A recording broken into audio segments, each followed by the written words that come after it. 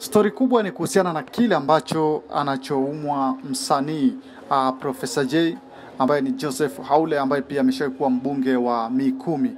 Uh, taarifa hiyo imeendelea kuchukua nafasi katika vyombo mbalimbali vya habari pia na masikio ya Watanzania pia wametaka kufahamu kiundani zaidi, na hivi sasa Rais Samia yeye amesema kwamba Uh, Rais wa Jamhuri ya Muungano wa Tanzania Mheshimiwa Samia Suluhu Hassan amesema kwamba kuanzia sasa serikali itagharamia matibabu ya aliyekuwa mbunge wa Mikumi na msanii wa kizazi kipya Bwana Joseph Haule anayetibiwa katika hospitali ya taifa ya Muhimbili.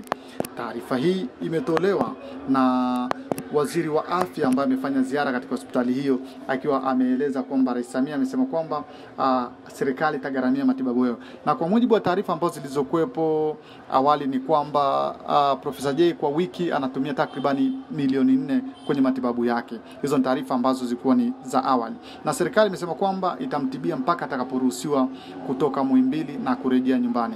Kauli imetolewa na waziri wa afya Umi Mwalimu ambaye amesema hayo alipofika katika hospitali ya taifa Muhimbili kumjulia hali Profesa J. Get well soon legend Profesa J.